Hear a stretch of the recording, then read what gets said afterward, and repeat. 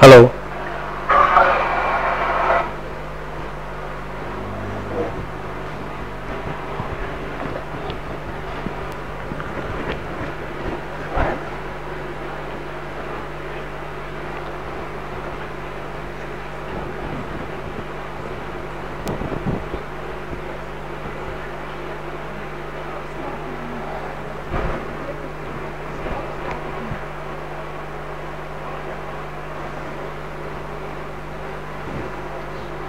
hello?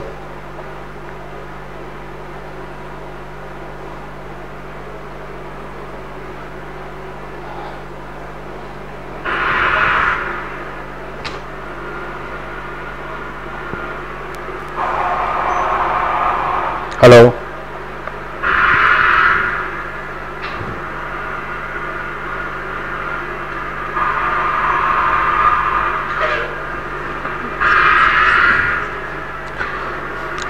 Good evening friends. Today is the third lecture in the series of anatomical lect- anatomy lectures from Royal Pearl Hospital. Myself Dr. Dipena Thakkar. I am from Gujarat and I am doing a fellowship with Dr. Janakiram. I would like to thank you Dr. Janakiram to give me this opportunity. So, we will start with the anatomy of the thyroid gland. First we will see somewhat history. The thyroid gland was first described by Vesalius in 1543. He called it glandulae laryngis since he assumed that this gland lubricated the larynx. Then the thyroid word came from the verb thyros. This is a Greek Greek word means the shield. Because of the shape of the thyroid gland, it looks like the shield. It is an endocrine gland. It regulates BMR. It stimulates somatic and mental growth. It plays important role important role in calcium metabolism. So first we'll see the embryology of the thyroid gland. This is the first of the body's endocrine gland to develop. It develops from the out pouching of the primitive foregut. It develops around the third week of the gestation, roughly at the 24th day of the intrauterine life. It forms as a proliferation or the thickening of the endodermal epithelial cells found on the median surface of the developing pharyngeal floor. The site of the this development lies between the two key structures, the tuberculum impar and the copula, and it is recognized as the foramen cecum. The foramen cecum, located at the base of the tongue, is the site of origin of the thyroid gland at the junction between the first and the second branchial or the pharyngeal pouches, immediately dorsal to the aortic arch. The thyroid gland has a double embryologic origin, that is the primitive pharynx and as well as the neuroectodermal or the neural crest.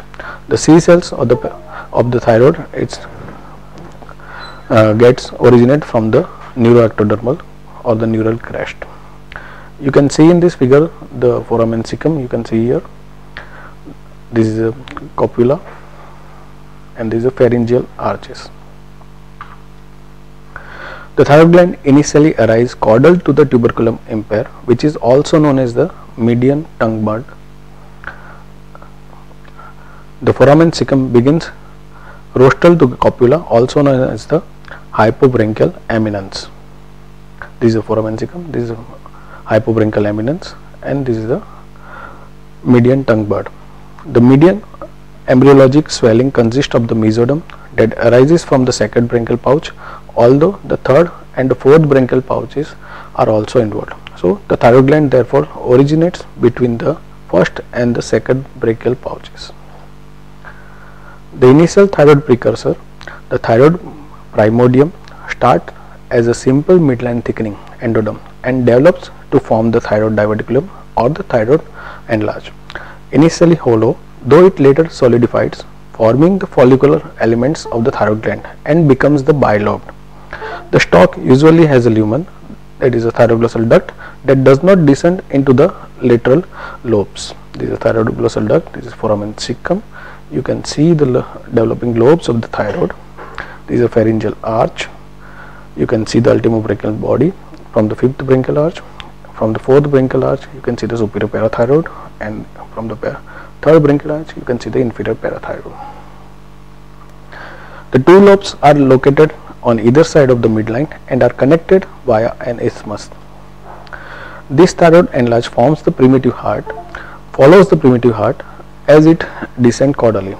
The proximal part retracts and vanishes, leaving only the foramen cecum as a um, as a part. You can see the uh, pathway of the descent of the thyroid gland. This is the pathway of the thyroglossal duct also. You can see it comes below the hyoid bone in the infrahyoid region and from the normal region of the thyroid gland. Final adult position it gets by the seventh week of the gestation. The paired lateral anlage origin from the ventral portion of the fourth and the fifth branchial pouches and fuses with the median thyroid anlage at approximately at the fifth week of the gestation, contributing up to 30% of the thyroid gland weight.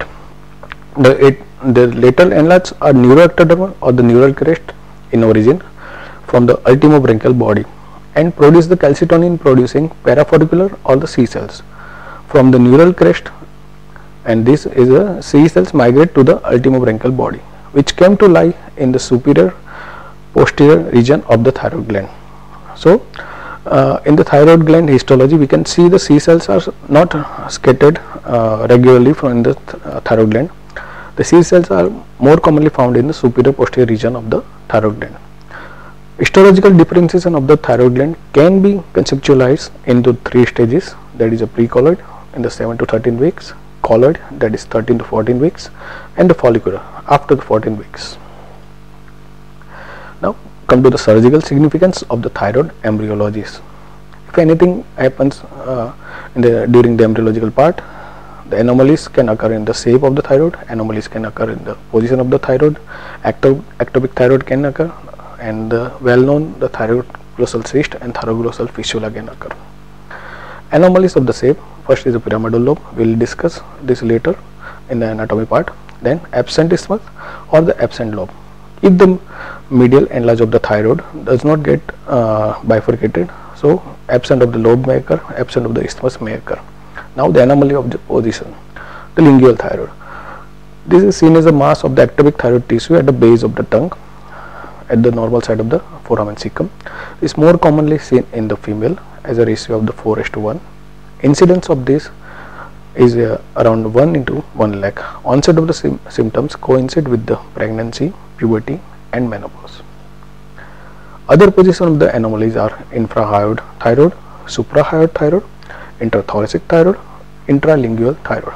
In this figure you can figure out the, uh, the first position is the lingual thyroid, the second is the intralingual thyroid third is the position of the thyroid thyroglossal the usual position the infra infrahyoid position of the thyroid duct the fourth is the low neck ectopia fifth is the normal position of the thyroid gland sixth is the intratracheal thyroid gland and seventh is the mediastinal position of the thyroid gland in the ectopic thyroid tissue small masses of the thyroid tissue present in the abnormal site.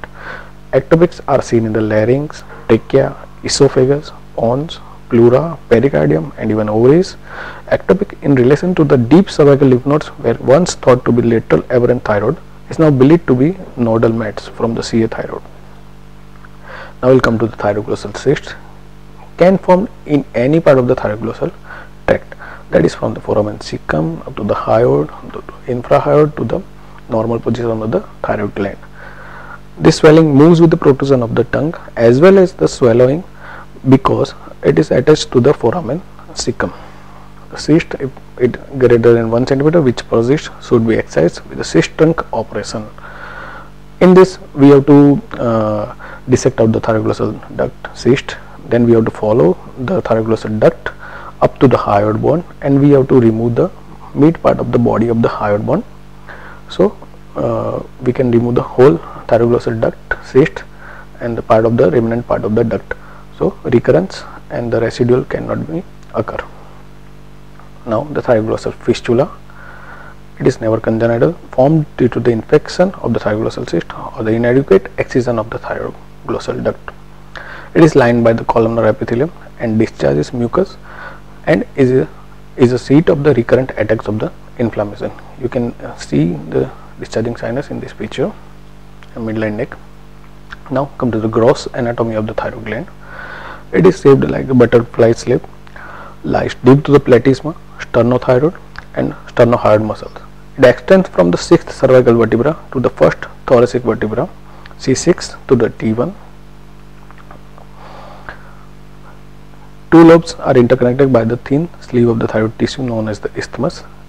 Isthmus lies in front of the second third and the fourth tracheal rings. You can see uh, isthmus is lying in front of the second third and the fourth tracheal rings.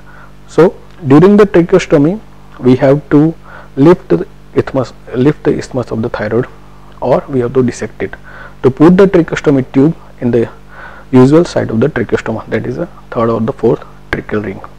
The isthmus measures around 2 cm in width 2 cm in the height and 2 to 6 mm in the thickness. The normal thyroid gland weighs about 15 to 20 gram in adults. Now we will come to the pyramidal lobe.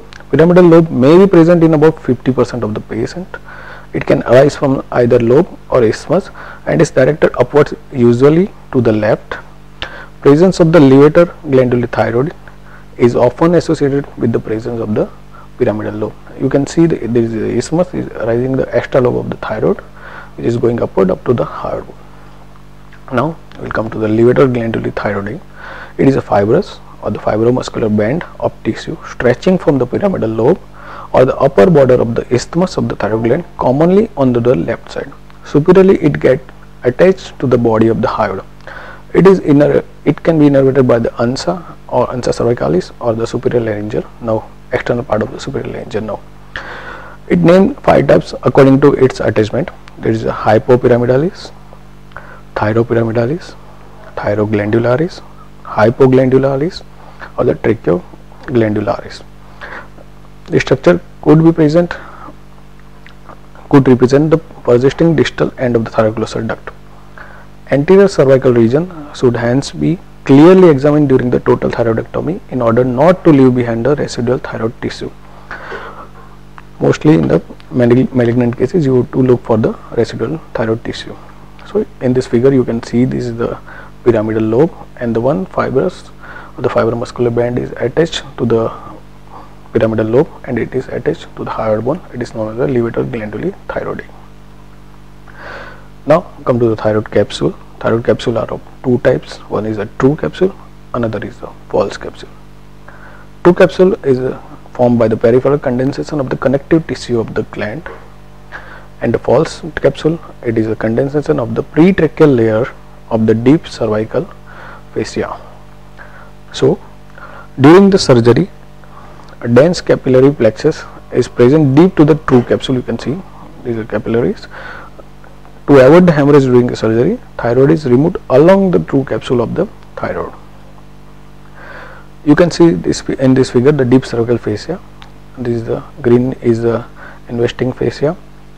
Blue is the pretracheal fascia. Thyroid gland is enclosed within the pretracheal fascia. This forms a false capsule of the thyroid. Then the purple is the prevertebral fascia and the brown is the uh, purple is the carotid sheath and the brown is the prevertebral fascia. I will come to the suspensory ligament of the Berry the pretracheal layer is thin along the posterior border of the lobes but thick on the inner surface of the gland where it forms the suspensory ligament of Berry which connects the thyroid gland to the cricoid cartilage. You can see this is the pretracheal fascia, superiorly it is attached to the hyoid bone, inferiorly it is attached to the fibrous pericardium enclosing the thyroid lobe of the thyroid gland. At the uh, level of the cricoid cartilage it is dense and connecting to the uh, thyroid gland to the cricoid cartilage. It is known as the ligament of the Berry what is applied anatomy of this so why thyroid moves during the deglutination so during the first stage of the deglutination thyroid moves up It pulls the pretracheal fascia up. This pulls the ligament of Berry up, and this also pulls the thyroid up. So during the deglutination, this uh, thyroid moves up.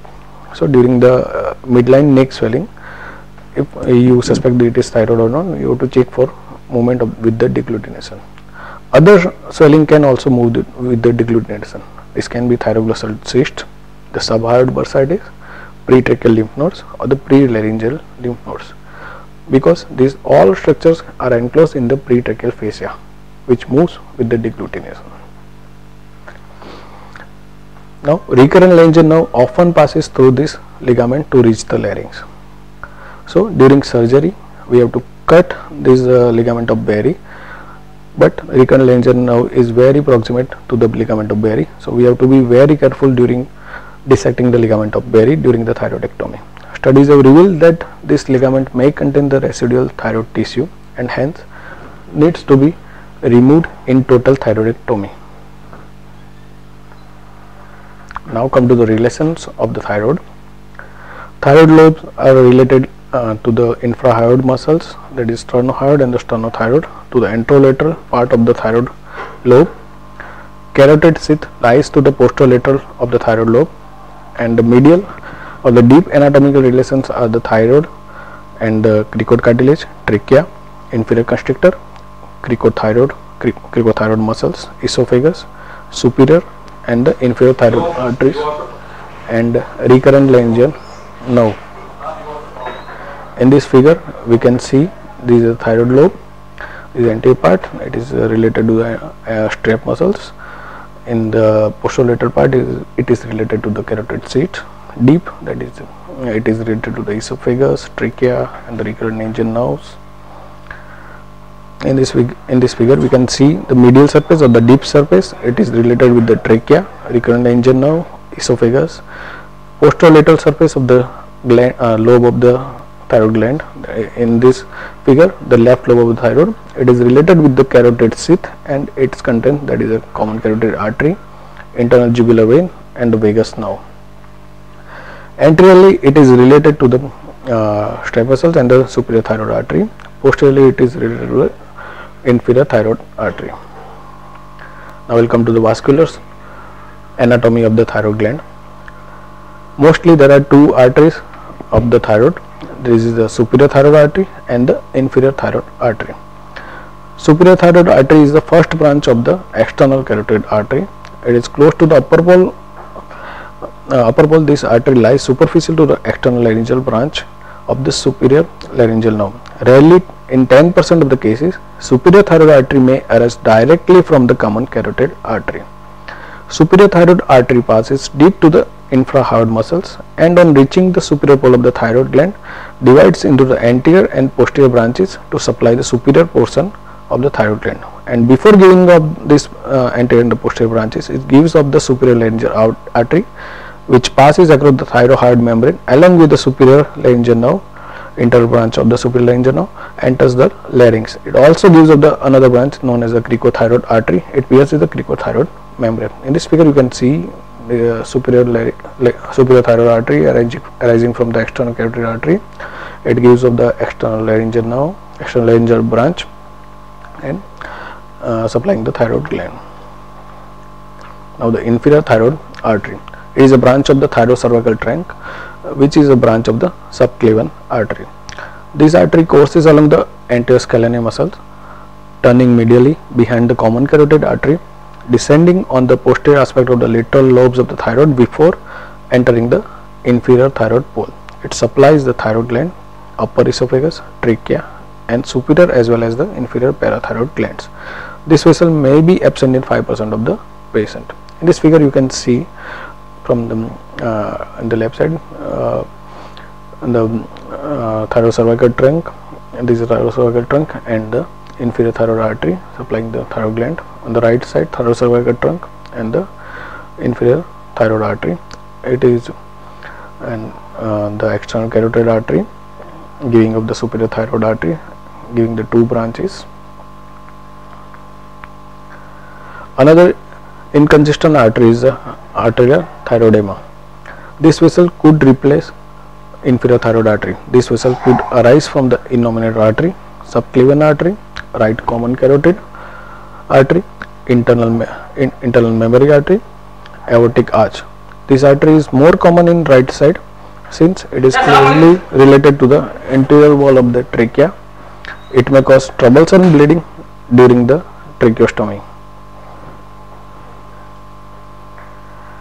Venous drainage is quite variable and occurs via capsular network of the thin walled, freely intercommunicating veins which drains through the thyroid veins. The superior thyroid vein accompanies the superior thyroid artery as it emerges from the superior pole of the thyroid gland. The vein passes superiorly and laterally across the superior belly of the omohyoid muscles and the common carotid artery to enter, and, um, to enter the internal jugular vein alone or with the common facial vein. The middle thyroid vein arises on the lateral surface of the thyroid gland at about two thirds of its anteroposterior extent, extent. It crosses the common carotid artery following direct course to the internal jugular vein. No artery escorts it. This vein may be absent or in very rare occurrence it may be double. During the thyroidectomy, uh, this is the first structure uh, mostly people like it. Now the inferior thyroid veins are largest of the um, among the veins of the thyroid. And most variable the right and left side are usually asymmetric. They follow the different pathways on each side to drain in the brachiocephalic vein. Sporadically both inferior thyroid veins form a common trunk called the thyroid thyroidema vein which empties into the left brachiocephalic vein. A fourth vein of the Kocher's vein may present between the middle and the inferior vein and drain into the IJV. So during thyroidectomy you, you should look for this Kocher's vein. Now come to the innervation. Principally it is from the ANS that is parasympathetic fibers from the vagus nerve and the sympathetic fibers from the superior, middle and inferior ganglia of the sympathetic trunk enter the gland along with the blood vessels. Now come to the lymphatics. Lymphatics draining the thyroid gland usually follow the veins. Those traveling the along the superior and the middle thyroid veins drain into the upper and the middle deep cervical nodes respectively. Lymphatics following the inferior thyroid vessels drain into the lower deep cervical chain of nodes, supraclavicular nodes and the pretracheal and the prelaryngeal nodes. So in uh, uh, malignancy cases in uh, uh, stage 1 stage 2 uh, cancer of the thyroid you have to do level 6 neck dissection now come to the recurrent laryngeal now during thyroid surgery identification and preservation of the recurrent laryngeal now and all of its division is essential to minimize the morbidity the recurrent, recurrent laryngeal nerve innervates all the intrinsic muscles of the larynx except cricothyroid muscle that is that is supplied by the external branch of the superior laryngeal nerve and provides sensory innervation to the larynx that is the infraglottic larynx. Even minor, minor neuropraxia may cause dysphonia and irreversible injury confers permanent hoarseness. The reported incidence of recurrent laryngeal nerve injury during thyroidectomy is 0 to 28 percent and is the most common reason for medical legal claims following thyroidectomy. So you have to be very careful during thyroidectomy to save the recurrent laryngeal nerve. The recurrent laryngeal nerve is variable in size ranging from 1.5 mm to 4 mm in diameter. So it can be even 1.5 mm only in diameter. In this figure you can see the recurrent laryngeal nerve arising from the vagus nerve. From the left left side it arches around the loops around the arch of the aorta and this uh, ascend upwards. And in right side it arches around the subclavian artery and ascends upward in this figure you can see very beautifully it, the recurrent laryngeal nerve after looping around the arch of aorta on the left side ascend upward in the thyroid uh, tracheoesophageal groove. On the left side it arches around the subclavian artery and ascend upward in the tracheoesophageal groove. So recurrent angina originate from the vagus nerve. After uh, circling around the subclavian artery on right side and the left side on the aortic arch, it ascends superiorly and medially towards the tracheoesophageal groove. The right recurrent, recurrent laryngeal nerve enters root of the neck from the more lateral direction and its course is less predictable than the of the left recurrent laryngeal nerve. So during thyroidectomy, right recurrent laryngeal nerve injury is more common, right side recurrent laryngeal nerve injury is more common than the left side because its course is variable.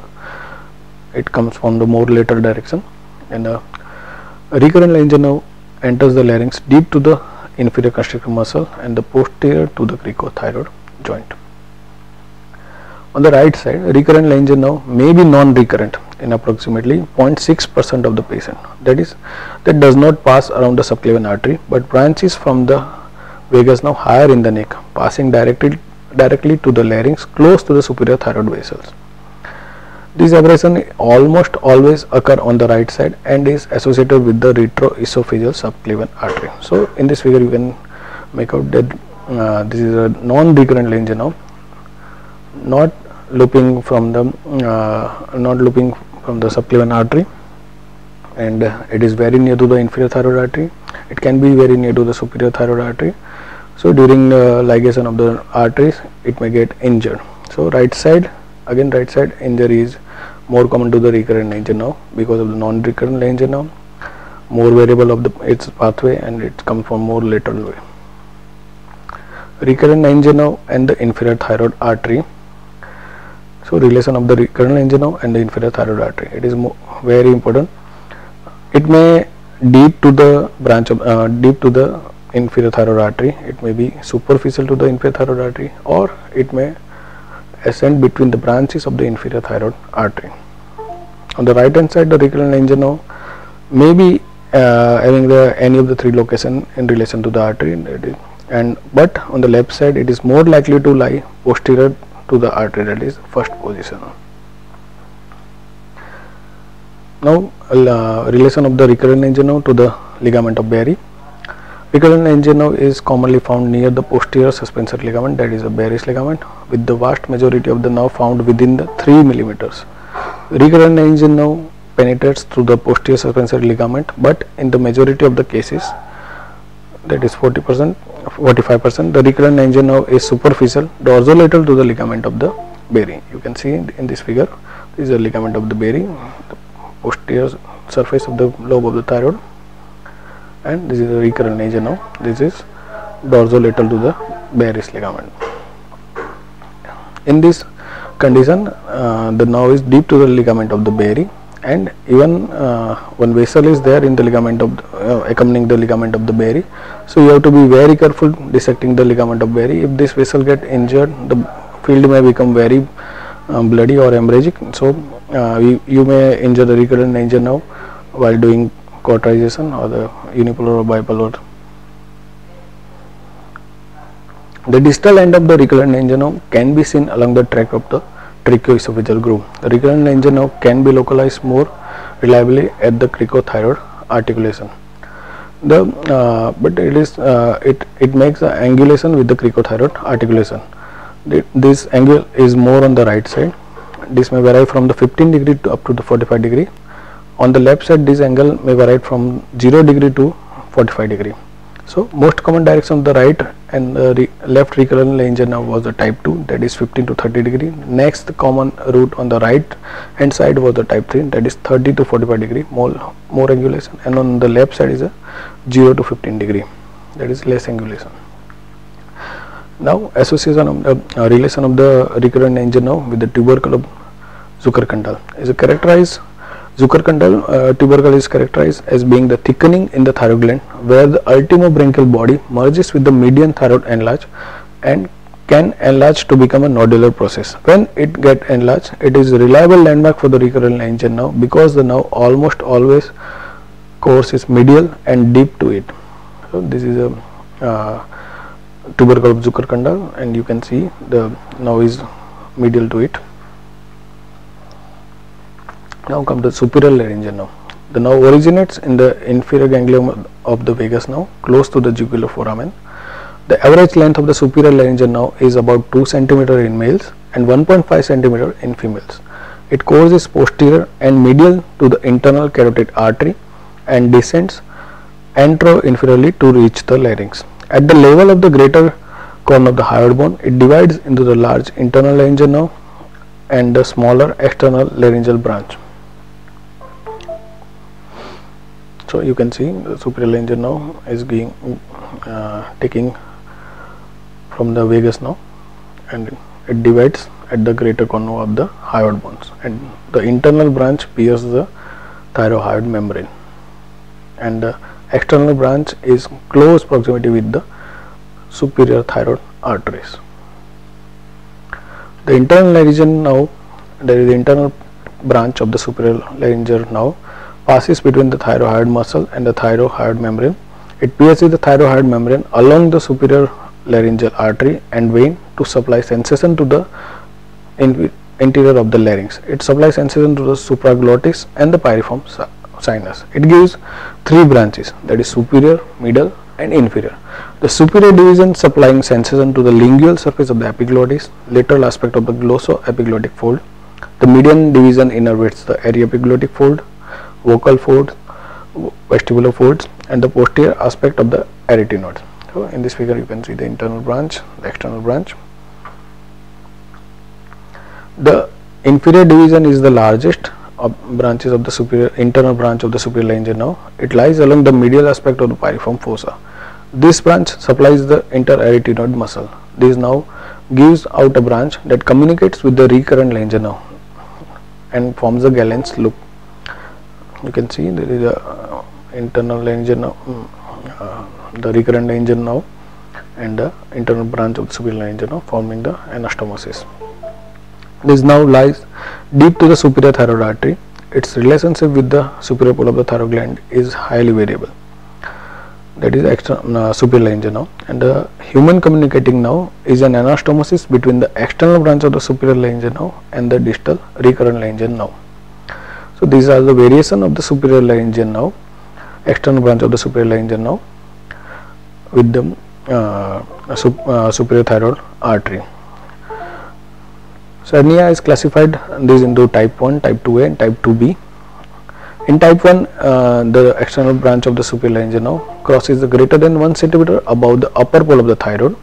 In type 2a it crosses less than 1 centimeter above the upper pole of the thyroid. In type 2b it crosses superior thyroid artery under cover of the upper pole of the thyroid. Kierner classification is same like uh, Cernea but uh, in type 4 descends the dorsal to the artery and crosses the superior thyroid artery branches immediately above upper pole of the thyroid. This is another uh, variations. In uh, this, the external branch of the superior laryngeal nerve runs superficial to the inferior constrictor muscle. In type 2, the external branch of the superior laryngeal nerve runs partly under the cover of the inferior constrictor muscle and the type 3, the external branch of the superior laryngeal nerve runs deep to the inferior constrictor muscle. This is Friedmann's variation of the superior laryngeal nerve. Now come to the parathyroid gland. There are typically four parathyroid glands, two superior and two inferior. However, supernumerary glands have been reported. Parathyroid glands are generally symmetrically located in the neck. Their characteristic golden color varies from yellow to reddish brown and from this color we can distinguish the parathyroid gland from the lymph nodes as well as the mediastinal fat. They are usually oval and measures around 3 to 8 mm. The inferior thyroid artery is the predominant vascular supply to both the upper and the lower parathyroids. Consequently, dividing the trunk of the inferior thyroid artery is discouraged as it places all the parathyroids on that side of the uh, at the risk of the ischemic injury you can see the inferior thyroid artery is giving one branch of the inferior thyroid artery is giving branch to the inferior parathyroid gland as well as the branch of the inferior thyroid artery is giving the superior parathyroid gland. The superior parathyroid gland originate from the fourth parapharyngeal pouch, pouch and attached to the posterior surface of the uh, surface of the caudally migrated thyroid. They have much shorter migration distance. They are embryologically and anatomically closely related to the tubercle of Zuckerkandl and are usually located at the level of upper two-thirds of the thyroid in a posterior position about 1 centimeter above the crossing point of the recurrent angina and the inferior thyroid artery. ectopic position of the superior parathyroid glands such as in posterior neck, retropharyngeal and the retroesophageal spaces and intrathyroidically are very uncommon. The dorsal wing of the third pharyngeal pouch gives rise to the inferior parathyroid gland. It joins the thymus as it travels caudally and medially to its final position in the mediastinum. This accounts for the fact that the, they are usually found in a plane ventral to that of the superior parathyroid glands and that ectopic inferior parathyroid glands can be found anywhere along this large area of descent up to the superior border of the pericardium. The commonest location is between the lower pole of the thyroid and the isthmus, equally commonly uh, on the anterior or the posterolateral surface of the lower pole of the thyroid or in the lower neck in proximity to the thymus. Other locations are lateral to the thyroid or within the carotid sheath, within the mediastinal thymic tissue and even up to the pericardium. This is a relation to the uh, recurrent angina of the uh, parathyroid glands. If the recurrent angina course is viewed in a coronal plane, then the superior parathyroid gland is located deep, that is dorsal, and the inferior parathyroid is superficial, ventral to the plane of the nerve. So, this is the uh, course of the recurrent angina. Uh, in this figure, you can uh, see the this is the coronal plane of the recurrent angina the superior parathyroid gland are dorsal to the this plane and the inferior parathyroid gland are ventral to the recurrent angina.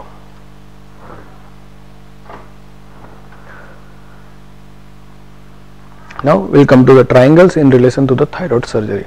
The course of the recurrent angina and the superior angina are very variable. To help the surgeon, various triangles have been described. First is the Beahrs triangle or the Riedl's triangle. The nerve is identified down in the tracheoesophageal groove that is the recurrent angina. The nerve forms the third side of the Beahrs triangle. The other two are, sides are formed by the common carotid artery and the inferior thyroid artery. So this is a Beahrs triangle. One side is formed by the recurrent angina, superior is it is formed by the uh, inferior thyroid artery and laterally from the common carotid artery. Another is the Joll's triangle. Synonym is the sternothyrolaryngeal triangle to identify the external branch of the superior laryngeal nerve. Upper pole of the thyroid gland and superior thyroid vessels form the lateral border. Superiorly, the attachment of the strap muscles and the middle, medial landmark is the midline and the floor is formed by the cricothyroid.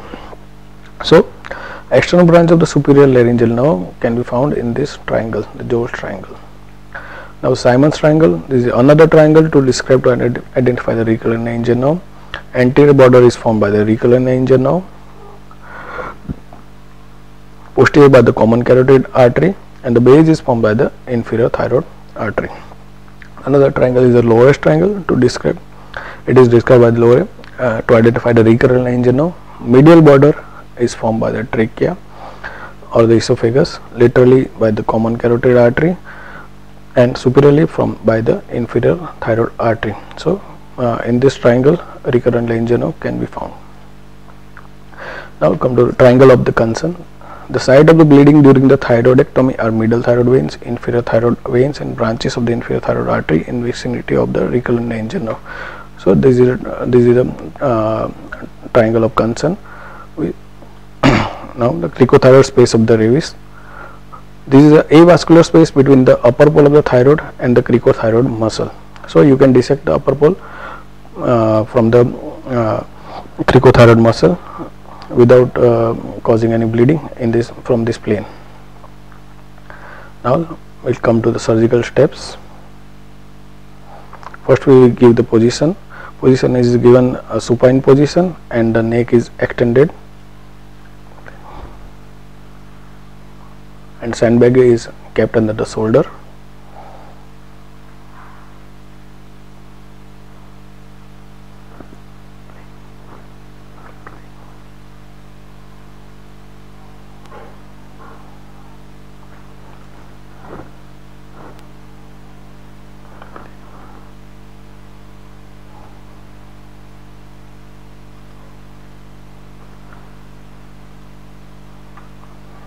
Step 1 is infiltration.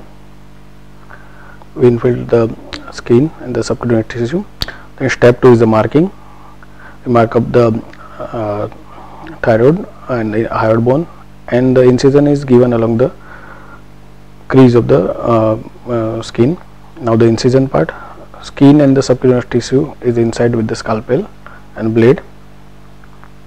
After the incision we press the site for 5 minutes to stop the bleeding. Now step 4 is the elevation of the flaps.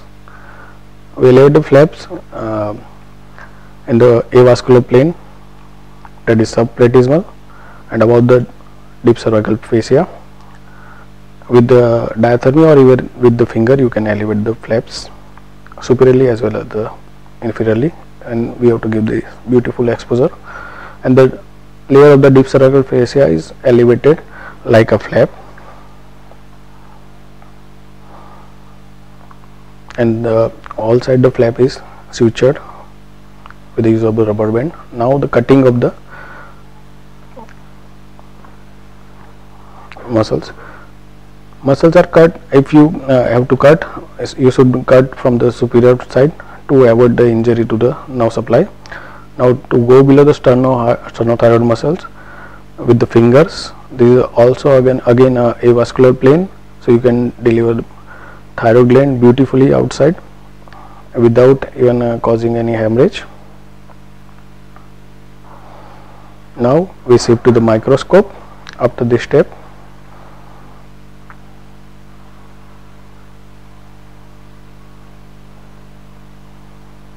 you can dissect with finger in the avascular plane. We can see the glimpse of the inferior thyroid artery and even the common carotid artery.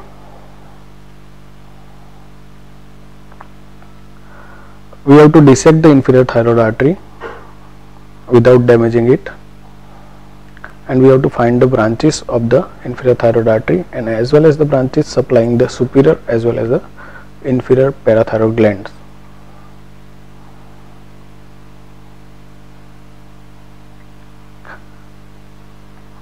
We should save the branches supplying the parathyroid glands to save the sub, uh, supply of the glands and to not cause the hypocalcemia and again other step is the identification of the recurrent angina now we can beautifully see the recurrent angina in the triangle formed by the inferior thyroid artery the trachea and the carotid artery.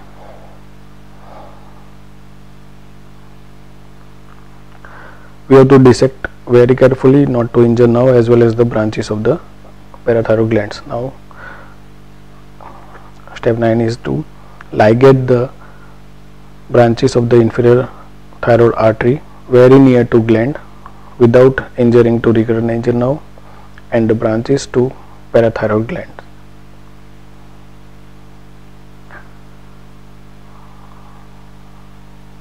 With the help of microscope you can see this beautiful picture. And you have to have to use only bipolar cautery you cannot use uni um, monopolar in this step. Even the small neuropraxia can cause the hoarseness. This is the branch supplying the superior parathyroid artery. You can see the branch and the superior parathyroid artery uh, superior parathyroid gland now we are dissecting and ligating the branch of the inferior thyroid artery very near to gland without injuring the recurrent lesion now. You can see the whole course of the recurrent lesion now and the superior parathyroid glands. The supply of the superior parathyroid gland is intact. Now dissection of the superior lesion now in the Jones triangle you have to be very careful because this now is very thin you can see the superior engine now now step 11 is identifying the branch of the superior thyroid artery and ligate them separately because superior external branch of the superior laryngeal nerve can be injured if we ligate from above the uh, above as a whole trunk of the superior thyroid artery.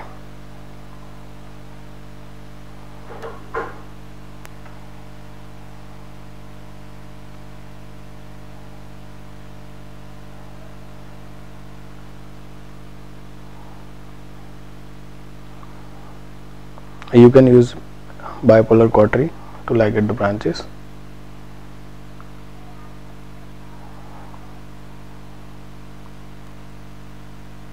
You can see beautifully the whole course of the recurrent lesion now now step 12 is to identify the inferior thyroid vein and to ligate it very near to thyroid gland to save the drainage of the parathyroid glands even by injuring the drain venous drainage of the parathyroid gland you can devitalize them. Now again uh, you have to identify if there is Kocher's vein is present you have to ligate it. Otherwise it may cause bleeding. Now identify the Berry's ligament and use bipolar to cut it. And recurrent lesion now is very near to the Berry's ligament up to 3 mm so you have to be very careful while dissecting the Berry's ligament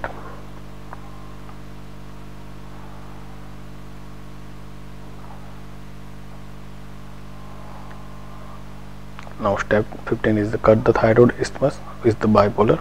We do not like it the thyroid isthmus.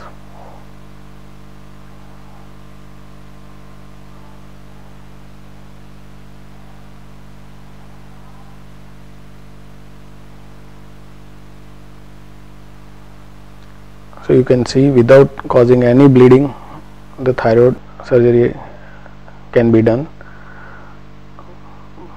for the thyroid uh, thyroidectomy and uh, surgery near the thyroid gland. You should be very aware of the anatomy. So anatomy is the key for the thyroid surgery.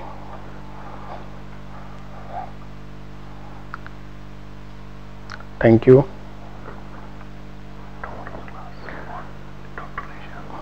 Tomorrow's class is uh, triangles of neck will be taken by dr nisa thank you for listening. See you tomorrow at 9 good night